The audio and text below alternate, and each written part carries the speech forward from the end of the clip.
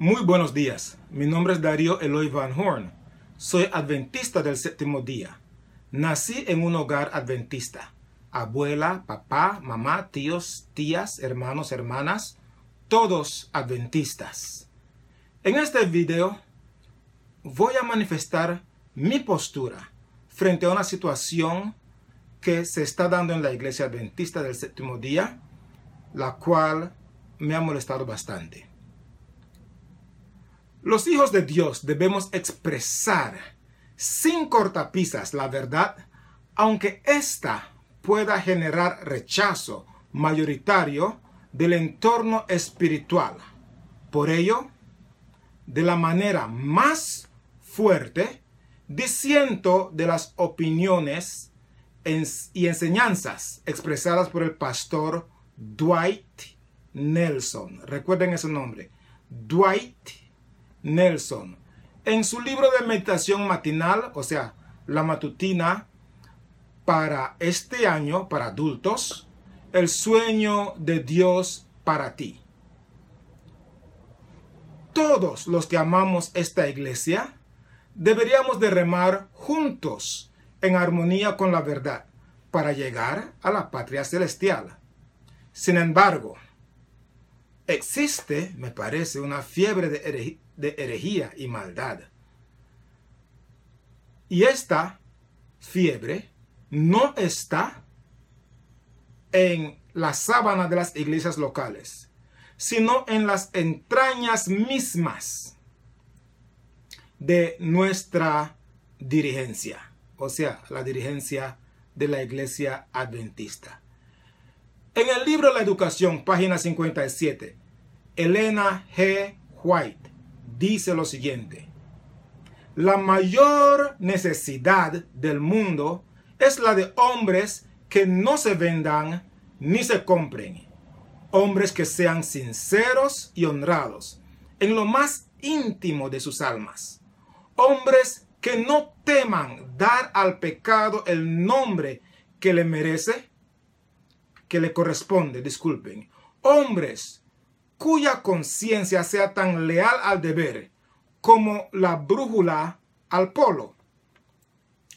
Hombres que se mantengan de parte de la justicia, aunque se desplomen los cielos.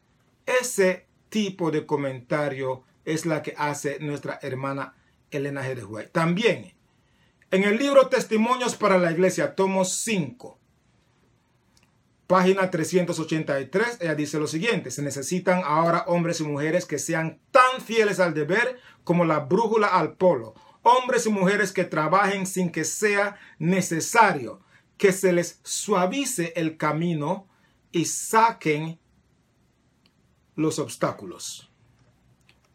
Por los últimos 34 años he comprado mi matutina fielmente y siempre lo leo.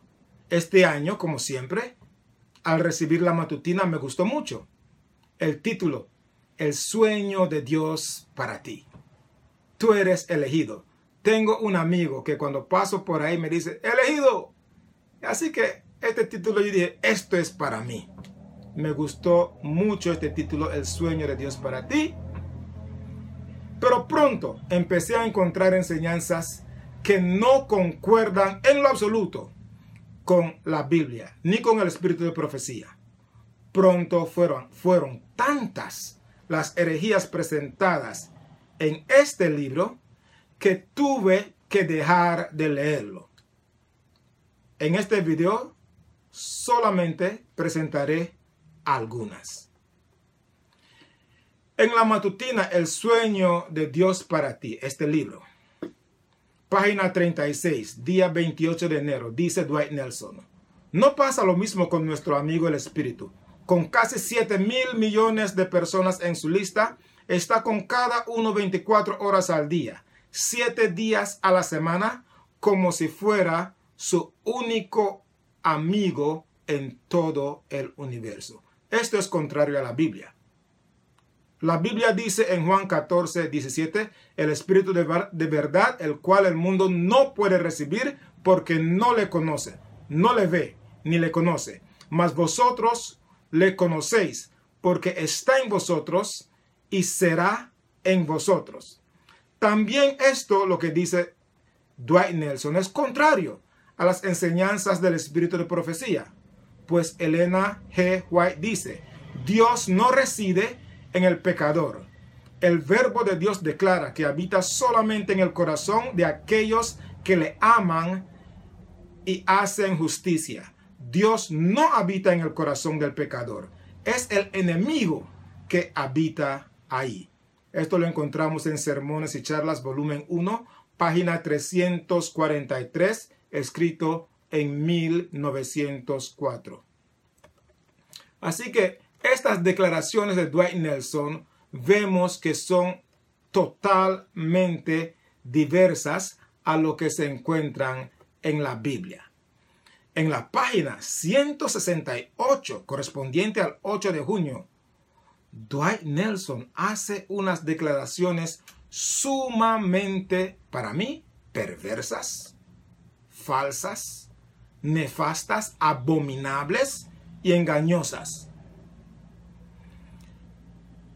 Y la mayoría de los adventistas se las tragaron anzuelo, carnada y plomo sin protestar. Él dice lo siguiente, tan pronto como uno llega a esta conclusión de que la bestia representa a la institución del papado en Roma, él dice él, resulta fácil desechar tal convicción como nada más un protestantismo estereotípico anticuado refrito, un apéndice arcaico del pensamiento medieval. Después de todo, los 1260 años de la Edad Media están en el pasado y el mundo ahora es progresista, dice él. Y las barbaridades previas ya no son relevantes. Pero se pone más serio, dice, ¿qué importa?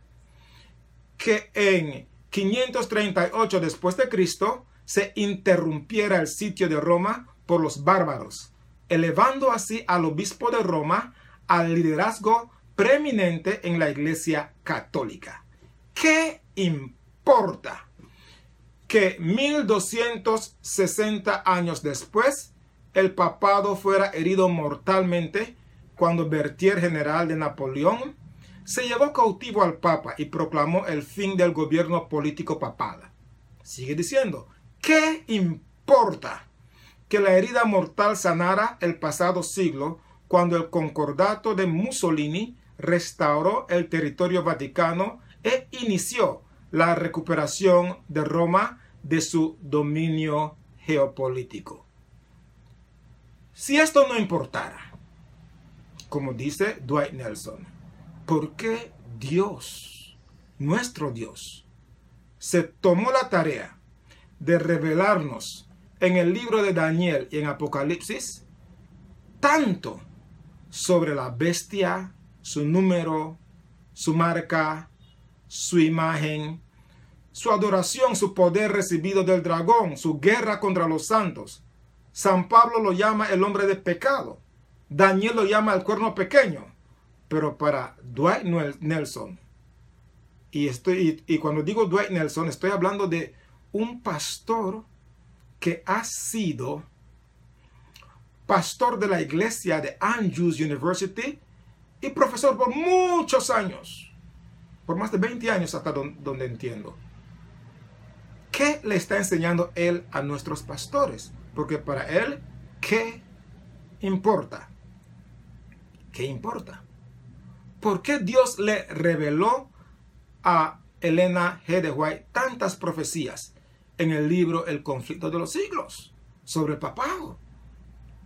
Cosas que están sucediendo frente a nuestra vista Actualmente hay en Roma un papa jesuita.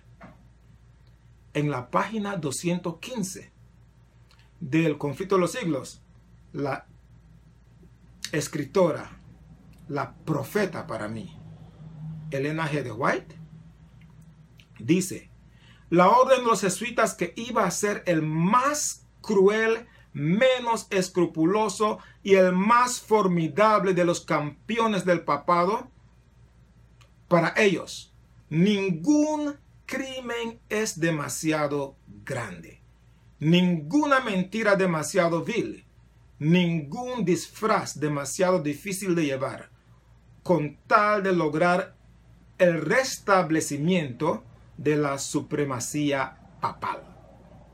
En la página 553, para dar otro ejemplo, ella dice lo siguiente, las iglesias protestantes se hallan sumidas en grandes tinieblas, pues de lo contrario, discernirían los señales de los tiempos. La iglesia romana abarca mucho en sus planes y modos de operación.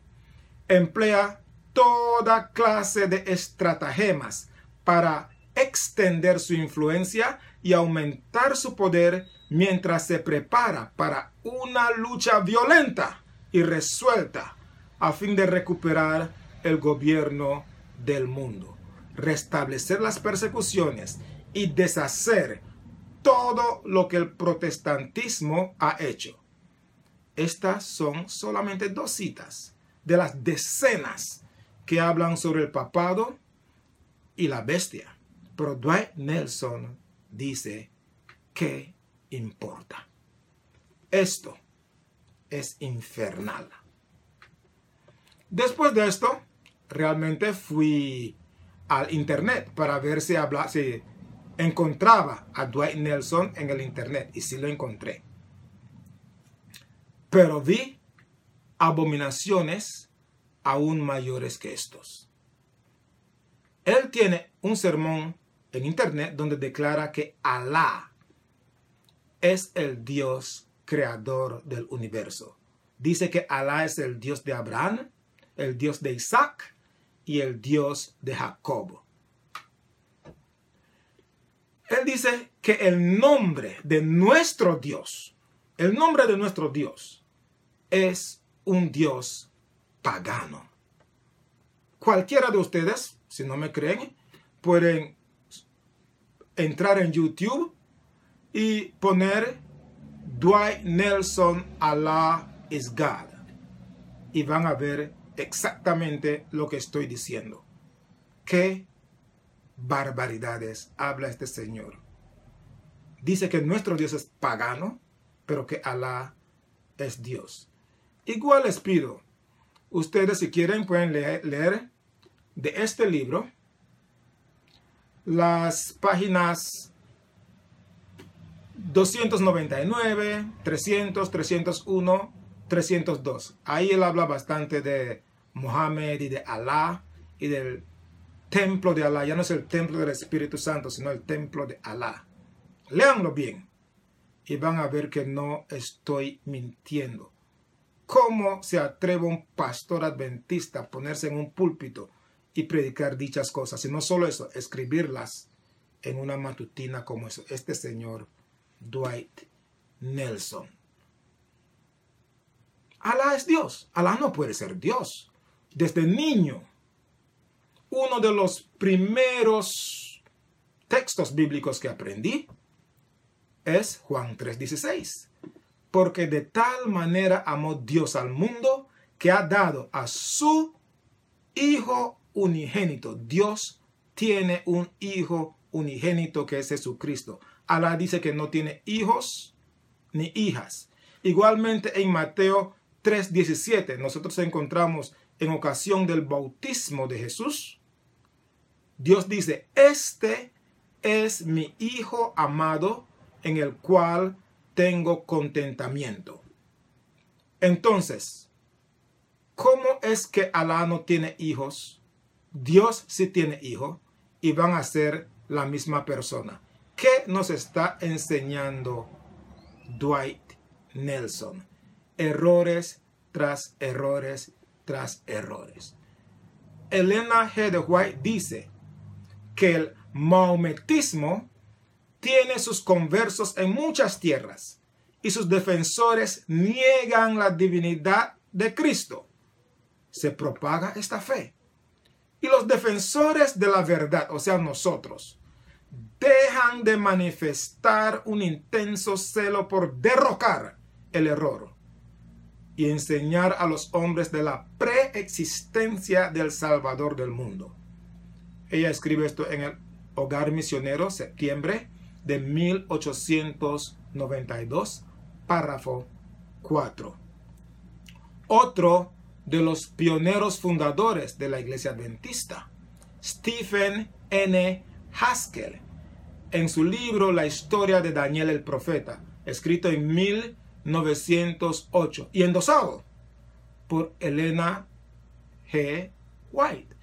En la página 246 dice que el maometismo era una nueva obra de Satanás, que se extendió como humo del pozo sin fondo. El maometismo es otra forma de oscuridad egipcia. Lo que dice Dwight Nelson es total herejía. Es anatema es peor que la hechicería.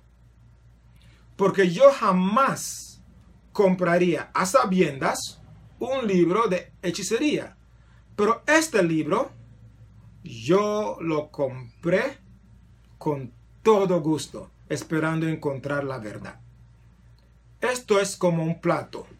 Este es como un plato de comida deliciosa, exquisita pero Dwight Nelson tiene escondido el más mortal de los venenos en este libro.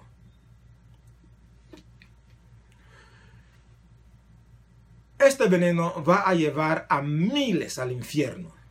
En los días de Josué, cuando Acán cometió anatema, ¿qué se hizo? Se quemó el anatema. Esto se puede encontrar en Josué 7, 24 al 26.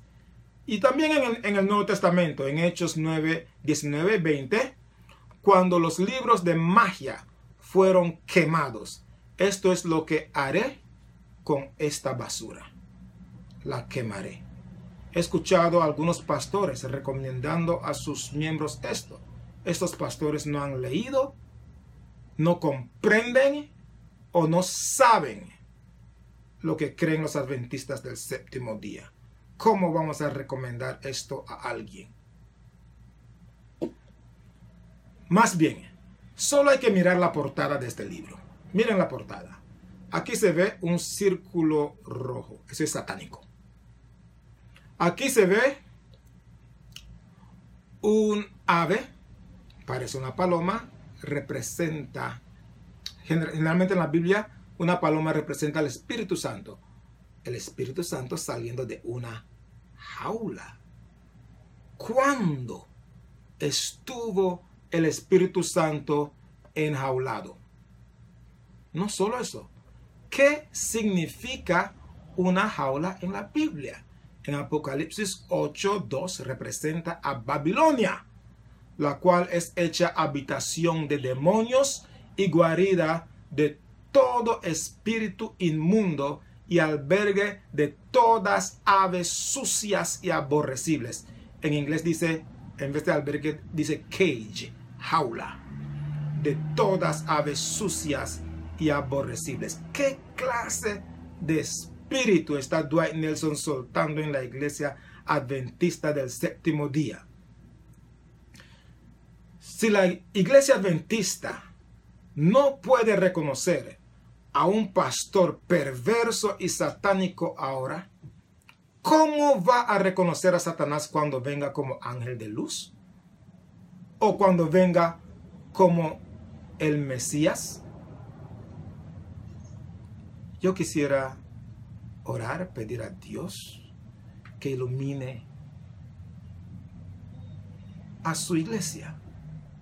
Y luego procederé a quemar esta basura. Oremos. Amantísimo Dios, Padre Celestial, suplico, Dios, tu protección sobre tu iglesia. Guárdanos de tanta maldad, de tanta energía. Tu iglesia está dejando al Dios vivo, dejándote a ti, oh Dios, para ir en pos de Alá. Bendiga a tu pueblo, Dios. En el nombre de Jesús te lo suplico. Amén. En estos momentos procederé a quemar esta basura.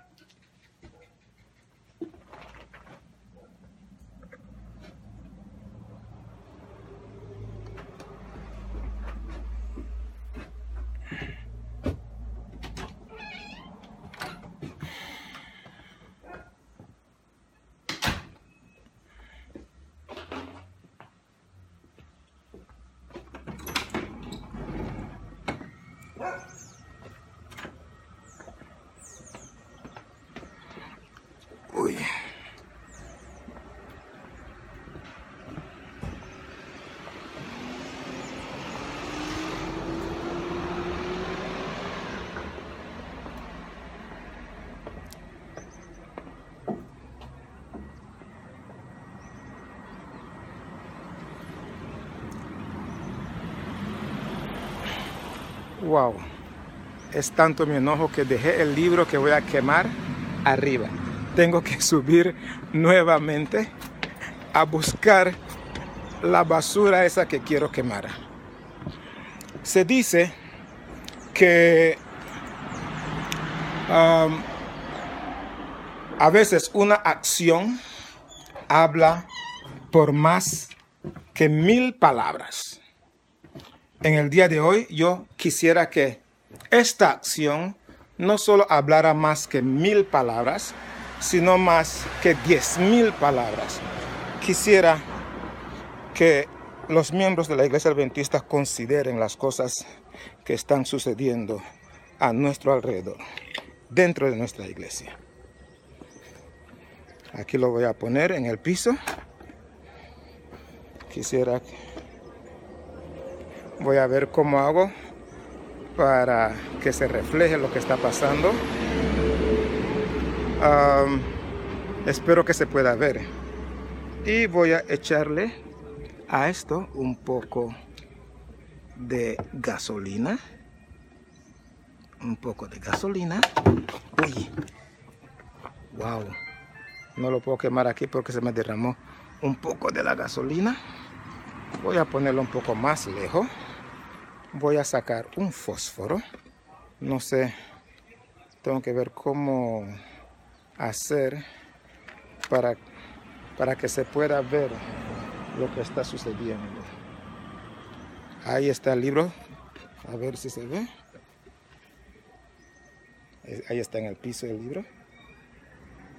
Y le voy a tirar un fósforo.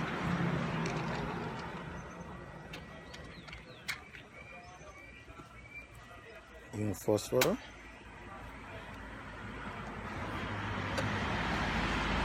Parece que no se quiere quemar, pero se va a quemar. Se va a quemar un fósforo. Uy, se apagó el fósforo nuevamente. Pero ahora sí va, va, va, va. Y ahí se está quemando el libro de Dwight Nelson.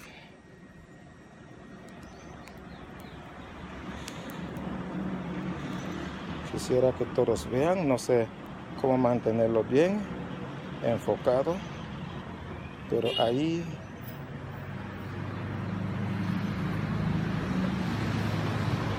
está el libro de Dwight Nelson quemándose página por página.